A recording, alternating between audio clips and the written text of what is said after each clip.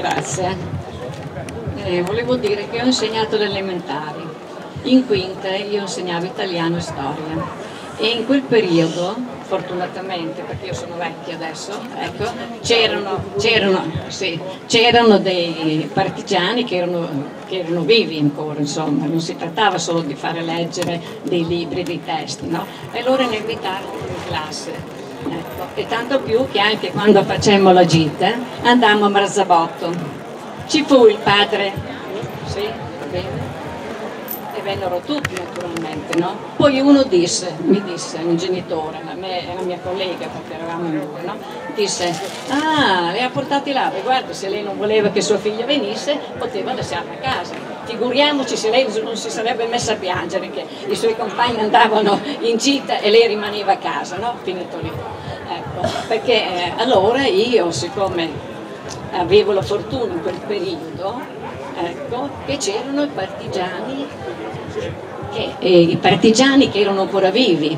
Non si trattava solo di raccontare la storia, la storia come la si può raccontare adesso, no? Allora ne invitai uno. E questo naturalmente fece i, i ragazzi qui rimasero tutti molto eh, che tutto quello che avevo detto eh, era vero, no? E poi come dico li portai a fare questa No, no, Quindi credo che, credo quindi che andammo in gita a Merzabotto a vedere, eccetera, su un genitore che disse, ah, ma dico, guardi, lei se non voleva portare sua figlia, diceva, sta a casa, non è un problema. Figuriamoci se lei non si sarebbe messa a piangere che i suoi compagni andavano a scuola e, vengono. E questa è una cosa che mi è rimasta lì, perché la storia bisogna conoscerla bene in quel momento che c'erano ancora quelli viventi, adesso possiamo solo leggere, eccetera, no? Ecco, studiarla, invece loro venivano in classe, era la cosa migliore che si poteva fare. Tutto quello. Non so perché a me hanno detto un minuto solo, quindi ne prenderò dieci. Allora io sono molto contenta di avere Alessandro e Chiara, ho conosciuto anche la mamma nelle due occasioni che ci sono state anche a Firenze e ho avuto anche la fortuna di incontrare Lorenzo. Questo disagio del quale parlava Alessandro lo provo fortissimamente e in quella zona lì, per chi ci è andato, sa cosa vuol dire respirare una, una situazione di lotta vera. C'è molta verità lì, cosa che non c'è qui. Si parlava di parole stuprate, e dopo libertà credo che la parola più stuprata sia sinistra, hm? che ha un suono molto diverso pronunciato da altri. E per questo ti chiedo Alessandro, e la stessa domanda la faccio ad Adelmo, che ha fatto un discorso bellissimo, io lo stimo tantissimo, ma Adelmo è una persona che ho incontrato a Genova in piazza Limonda, che lo trovi domani a Lodi, non so dove vai, che non, cioè, è un militante. Noi stiamo parlando di Lorenzo, de, de, della sua famiglia, di Adelmo, che sono militanti.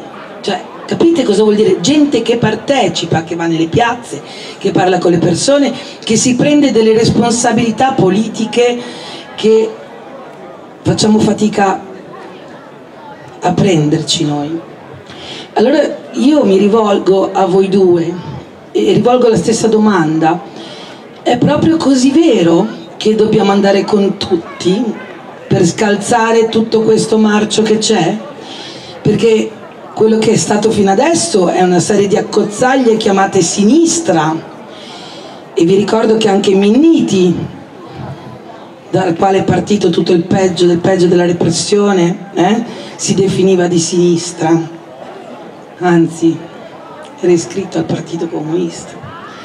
Quindi io voglio sapere da voi se è proprio così vero che bisogna andare anche col porco per poter scalzare tutto questo o se dobbiamo riprenderci veramente dal basso, veramente, come dici tu Adelmo, nelle piazze che tu frequenti benissimo e cominciare a cacciare via quelli che stuprano la parola sinistra, quelli che si spacciano perché c'è tanto spaccio eh? ed è proprio per questo che dico che Lorenzo ha trovato quella verità che io molto meno di lui ho visto in Kurdistan anche nelle parole nella scelta delle parole del linguaggio. Io voglio ricordarvi, lasciando la domanda a loro, che anche qui ci sono donne e uomini militanti che non si limitano a fare la calzetta e a crescere le figlie. Non per intervenire, però le cose dette questa sera in questa bella iniziativa sono stimolanti e ho deciso di pulirmi un dente, anzi altezosamente dico sono venuto a darvi una o due informazioni perché davanti a un eh, regime eh, giornalistico, mh, mm, giornalistico dell'informazione indecente e eh, che inaccettabilmente omette e eh, falsifica deliberatamente la realtà, io ritengo di poter dare forse ad alcuni di voi un paio di informazioni in pochi secondi. La prima, con la pseudo intenzione democratica e positiva di aiutare la pseudo forza democratica in Siria, Hillary Clinton attraverso il suo mandato ha finanziato per circa quattro anni il jihadismo, il jihadismo e l'ISIS. E l'ISIS. Qualcuno può pensare che io stia farneticando, ma non è affatto così. Non è affatto così. E come dichiarò non molto prima di morire un grande eh, terzomondista e terzo internazionalista, uno dei teorici intellettuali i più importanti della mondializzazione capitalistica e imperialistica, cioè eh, Samir Amin, morto recentemente, un anno e mezzo fa, c'era un difetto di fondo e questo difetto di fondo è stato perseguito tragicamente per troppo tempo, sia dall'amministrazione, ehm, quel caso era Obama, da, dalla, da Hillary Clinton, eh, psicoticamente, in maniera ossessiva, aveva una eh, fissa è una scelta politica distruggere, distruggere e abbattere il regime politico di Assad, ricordatelo, comunque viene eletto in elezioni. Ricordatevi che comunque viene eletto in elezioni. Poi ci sarebbe da dire tutto ciò che si può dire. Io non ho parentele politiche, ma soprattutto io, sono per una lotta anti-imperialista. Sono un anti-imperialista e eh, so e voglio denunciare e sottolineare il fatto come fece Samir Amin che il difetto fondamentale era che a partire dagli Stati Uniti e i loro alleati europei all'unisono piegati e proni hanno, sono stati da una parte scegliendo di voler abbattere il regime di Sadat ma non lottare in primis contro l'ISIS. E lo ribadisco, non mi sono sbagliato, hanno finanziato il jihadismo e l'ISIS per alcuni anni. Eh, finisco con un'altra informazione. Ieri, poche sere fa, in una bellissima iniziativa qui dove si parlava delle rotte ribelli dell'America Latina, si sono sentito sentite molte importanti informazioni, una fra le quali eh, riferite al Venezuela. Vi informo su una cosa, proprio così.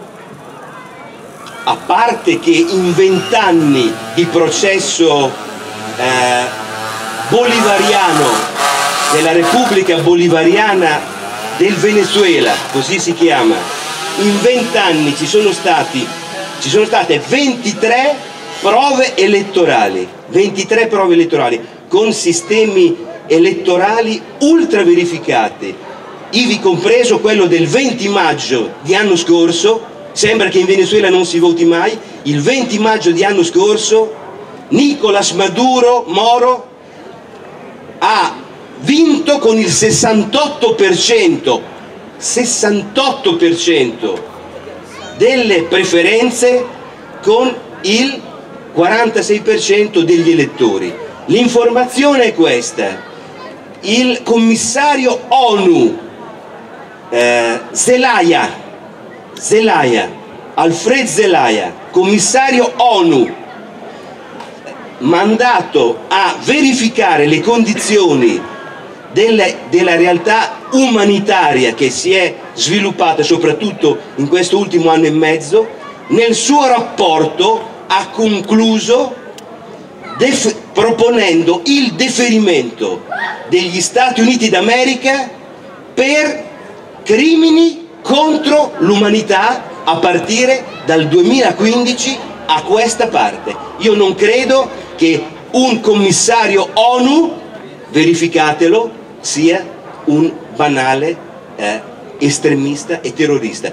Per quanto riguarda la parola sinistra, sono d'accordo con te Adelmo.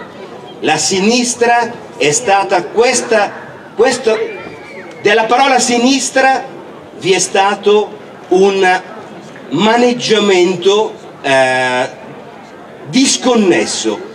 Hai fatto bene dire comunque ho finito che fra sinistra e destra c'è una bella differenza. Così come c'è differenza fra sinistra e centrosinistra ma badate io sarò testardo e continuo a dirlo.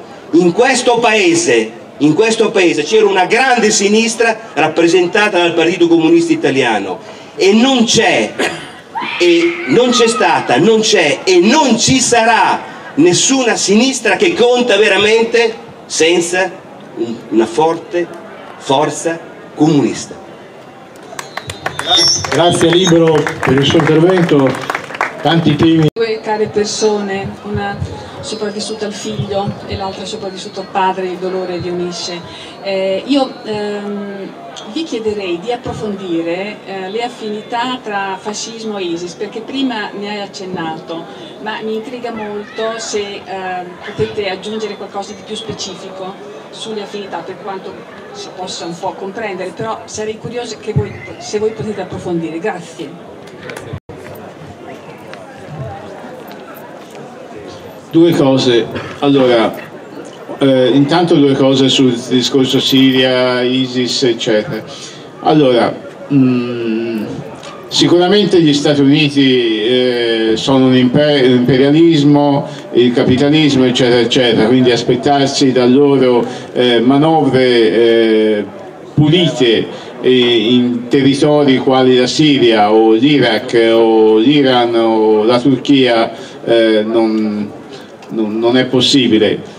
Penso che,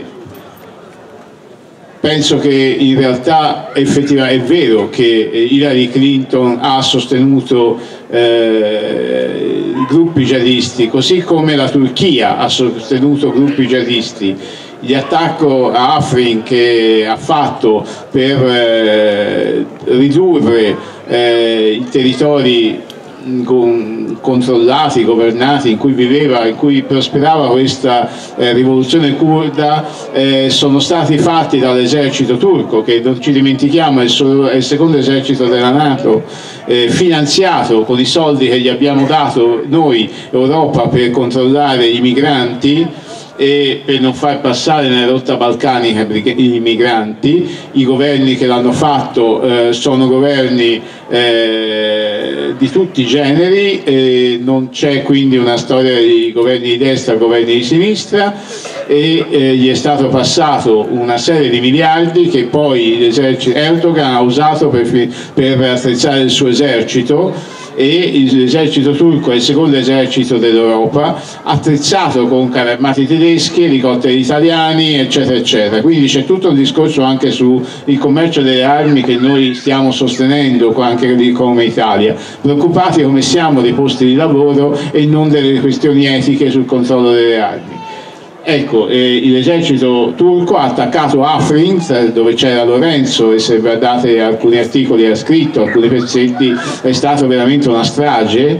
Lui è uscito tra gli ultimi, con gli ultimi eh, prima che si chiudesse l'accerchiamento sulla città di Afrin, e eh, all'attacco ci andavano bande eh, quindi in realtà eh, se l'ISIS ha prosperato è stato anche per il sostegno del, eh, di governi eh, perlomeno inetti e incapaci, eh, che preoccupati di mettere uno contro l'altro più che preoccupati per una buona situazione per governare una buona situazione. Il discorso del parallelismo tra l'ISIS e i governi di destra o il fascismo è che ci sono degli aspetti che sono simili, cioè in realtà eh, l'ISIS ha eh, dei capi, c'è un discorso molto gerarchico, c'è un discorso di, un, di credo eh, con poche dis discussioni, c'è un discorso del ruolo della donna che eh, in realtà in tutti e due gli aspetti eh, mette la donna in secondo piano,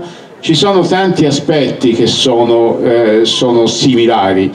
Ehm, la, la, paura del diverso, la, la, la rabbia contro il diverso, eh, una certa esaltazione di, di, se stessi come popolo eletto, pulito, eh, eccetera, e come una scarsa considerazione per tutto ciò che è fuori, una divisione tra noi e loro.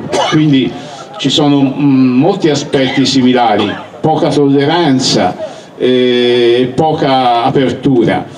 Mm, veramente eh, poi in ogni caso tutti questi, questi doppi eh, sia i governi di destra, il fascismo eh, sia eh, l'ISIS in realtà eh, dove arrivano eh, c'è poco spazio per la diversità. Quindi boh, insomma ce ne sono tante ecco, di similitudini. Veramente niente, la legge del più forte eh, c'è il ruolo della donna, tra l'altro il tema ora, l'ora sarebbe lunga, eh, però tutto il discorso della rivoluzione kurda in realtà c'è tutto un aspetto veramente di questa esperienza che, ha, eh, che potrebbe avere molte cose da insegnare su, ora mi riallaccio alla domanda e ci faccio. Allora, allora dove c'è eh, noi non, non, abbiamo perso la, eh, quella che i culti stanno riscoprendo, eh, il discorso del quella che viene chiamata democrazia dal basso. Cioè la democrazia dal basso è quella che, che prima funzionava nei, nei, paesi, eccetera, eccetera, un tentativo di mettere insieme le persone per decidere insieme qual è il destino del, delle proprie comunità non è così semplice da gestire, ma i culti lo stanno, stanno facendo. Ogni piccolo ci vivono 5 milioni e mezzo di persone nel Rojava, eh? non 300 mila o dice vabbè. Vuol dire ricominciare dal basso a mettere a confronto le persone e a farle parlare.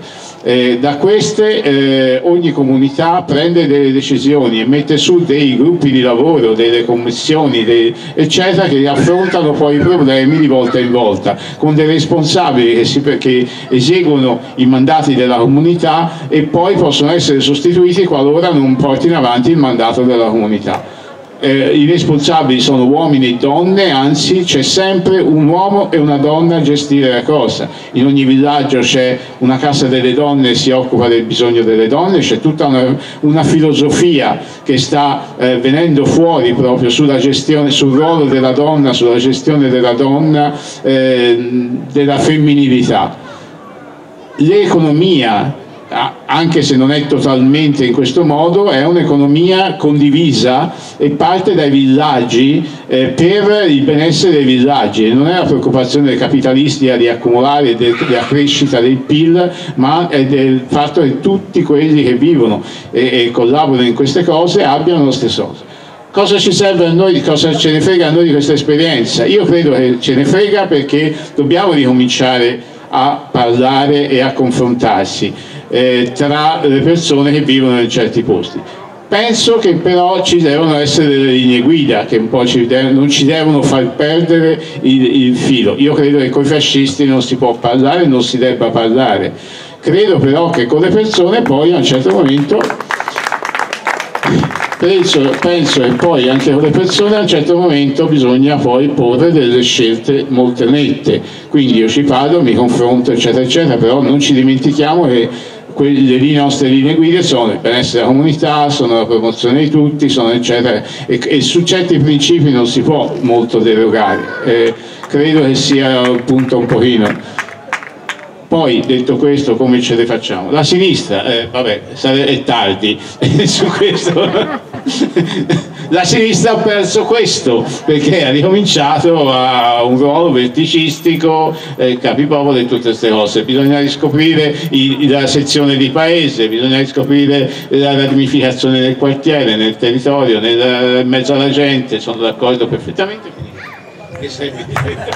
Ormai abbiamo abbiamo detto tanto, sposo completamente le tue posizioni che più o meno sono anche le mie posizioni, quindi sul discorso della sinistra è un discorso abbastanza intrigato, un discorso della sinistra spesso e volentieri ce la, ce la ripetiamo e quindi rispondo alcune cose che mi rispondo anche a me da tanto tempo. Eh, non c'è nessuna confusione da fare se noi siamo capaci di fare qualcosa di diverso, cioè perché la confusione la stiamo facendo perché non siamo capaci di fare qualcosa di diverso, perché noi, cioè, noi non siamo capaci di far passare un discorso, di dire il, il, il PD e altre, altre forze sono forze di centro-sinistra, noi chiediamo che ci sia una sinistra seria che possa portare avanti le battaglie in cui noi crediamo. Quindi questa è una di quelle grosse posizioni che ci sono, che ci sia bisogno di comunisti, i comunisti sono sempre stati all'avanguardia in qualsiasi posto, ma, ma c'è bisogno anche di fare in modo che ci sia una forza che abbia le, le gambe per camminare e quindi non è che. Noi, noi, noi, diciamo per fare una nuova sinistra ci vuole un partito, vuole un partito comunista forte e cose del genere, un partito comunista forte ce l'avevamo, è finita come è finita, qualcuno l'ha voluto copiare, è finita ancora peggio e allora vuol dire che c'è qualcosa che non quadra e bisogna che noi. Io sono stato in Unione Sovietica convinto ad andare nel paese dei miei sogni, invece mi sono trovato che mi hanno rispedito a casa e allora non parlo, parlo dell'Unione Sovietica, non della Russia, e allora vuol dire che c'è qualcosa che non quadra e devo dire che ho militato in un partito comunista per una vita intera e mi sono scontrato e arrabbiato quasi come mi sto arrabbiando oggi e allora vuol dire che non è una questione di avere Tizio, Caio, Sempronio, ma bisogna che noi non facciamo grandi dichiarazioni, ma riusciamo a vedere che c'è bisogno tutti quanti di portare. L'ho detto, lo ripeto, il nostro compito non è quello di andare a dire a chi vota da una parte che, che sta votando male, perché poi dopo va a finire che anche noi spesso e volentieri non è che abbiamo fatto grandi cose, e allora sarà meglio che ci rivolgiamo a quelli che ci possono dare una mano, a quelli che non si sono distaccati, a quelli che non vanno a votare, perché è lì che noi dobbiamo cercare di portare qualcosa. Quella grande parte, in tanti che non vanno a votare, che non partecipano più alla vita politica, Una, la maggioranza sono di sinistra, sono lavoratori, sono problemi che hanno grossi problemi, più grandi anche dei nostri e allora è con questi che noi dobbiamo confrontarci, ci dobbiamo confrontare in Europa, ci vogliamo confrontare dappertutto perché ci sia la possibilità. Io non credo che si possa risolvere il problema puntando a costruire una forza rivoluzionaria che cambierà. Io l'ho detto prima, la Costituzione sarebbe già una grossa rivoluzione, non è più possibile pensare che noi dobbiamo riprendere le armi di qua e di là, dove ci sono delle armi, ne stiamo parlando stasera, abbiamo dei caduti, abbiamo dei morti e sono stanco di piangere i nostri morti, ma sono stanco di pensare che poi dopo alla fine non riusciamo a far quadrare quello che dobbiamo portare avanti. E allora non sta a noi dire chi ci sta o chi non ci sta, noi sta a portare avanti i nostri valori, noi dobbiamo dire quali sono i nostri valori, non ci interessano i valori di Tizio Caio Sempronio, quando noi avremo una forza che potremo dire che qualcosa riusciamo a fare, ci potremmo anche parlare, ma noi spesso e volentieri in tutto questo periodo non siamo capaci solo di parlare male degli altri, di dire che a noi va male perché gli altri ci trattano male, perché hanno in mano questo, hanno in mano quest'altro, e non dire che invece noi siamo stati anche una forza grande, prima con il Partito Comunista, con Riforma rifondazione, eravamo arrivati come sinistra, quelle che stiamo quasi spariti e dobbiamo riprenderci, eravamo arrivati a un 10%, ce lo siamo mangiato ce lo siamo mangiato. E non solo perché il capo, perché Bertinotti è il risultato che poi dopo era quello che io dicevo ancora prima che lui esistesse, ma non solo per questo, perché c'è stato un discorso, perché, perché quando, ci, quando, abbiamo tentato di fare qualcosa di unitario, eh, molti compagni, e, e, parlo anche soprattutto di rifondazione con le genere, per dire che dobbiamo cercare di capire e di muoverci su cose importanti che abbiamo, hanno perso il loro simbolo, hanno perso questo qua, errore che è stato commesso ed è il risultato che in quel momento la, una buona parte di rifondazione aveva votato la Lega perché in quel momento la Lega sembrava il futuro rivoluzionario del nostro paese, come quelli che poi dopo hanno votato le 5 Stelle, Tizio Caio di Sempronio, perché pensavano non c'è niente da pensare, c'è pensare che a sinistra c'è da lavorare, da creare qualcosa e di tenere pronto questo. Quindi questo sarebbe quello che noi potremmo portare avanti avanti e potremmo dare. Non stare tanto lì a discutere e a litigare, ma stare vicino ai problemi, discutere su quello che c'è, far partecipare la gente, far capire che è la partecipazione che ci può dare, non ognuno si ritira nel suo orticello che non serve a nessuno, la partecipazione alle battaglie. Quante volte io mi sono incontrato con dei compagni che dicevano ma porca miseria, arrivo in un posto, devo dire che stasera sono abbastanza soddisfatto perché c'è stata una buona partecipazione situazione, quindi ripetiamo e continuiamo a batterci perché vuol dire che le possibilità ci sono. Ma ci sono trovate in certi posti in cui c'è un mezzo deserto e mi si è sentito dire quando dicevo, beh insomma non è che sono tanto contento se siamo tutti qua abbiamo fatto una campagna in cui arrivavamo in una città a Padova di 150.000 abitanti eravamo 30-40 dice se questi sono quelli che ci votano però manderà cacle belle terdi questi, spero che questi siano la, quelli che si daranno da fare da domani e dopodomani per batterci per fare in modo di far capire quali che sono le nostre quelle che sono le nostre posizioni politiche e quello che noi dovremmo fare. E quanti mi hanno detto a me che sto portando come forse qualcuno pensa ancora che sto portando un discorso negativo perché non creo quell'entusiasmo l'entusiasmo lo creiamo quando siamo capaci di fare le cose perché creare l'entusiasmo poi dopo non c'è un cazzo che porta avanti le cose. Non è che non è ci dobbiamo dire la verità non dobbiamo fare il comizio l'ho detto mille volte ci dobbiamo dire in faccia che cos'è che dobbiamo fare. Capire rivolgersi ai giovani dire ai giovani che senza di loro non riusciremo a fare niente. Che c'è da bisogno rivolgersi alla scuola ho sentito prima dire qua alla scuola io ho girato molte scuole ho girato molte dalle, dalle medie arrivare alle superiori. Mi sono anche sentito quando gli chiedevo il 25 aprile è stata una giornata una grande giornata di festa sapete dirmi qualcosa? Qualcuno dice sì è una grande giornata di festa perché è il patrono del mio paese. Non sapevano neanche che cos'era erano in quinta liceo e mi sono sentito la professoressa rispondermi sa non abbiamo ancora fatto quel periodo storico 18-19 anni. Cosa aspetti? Che abbiano i miei 76 anni per fargli capire quello che devono fare e, e cosa devono partecipare? E allora queste sono le cose abbiamo, non si può pensare in una scuola che alla, arrivano a fare la storia fatti in fretta perché a marzo ancora non l'hanno fatta poi ci sono gli esami. Non si può parlare di quello che è stata tutta questa grande battaglia che ci ha portato un po' di democrazia gli ultimi 15 giorni che un ragazzo va a scuola.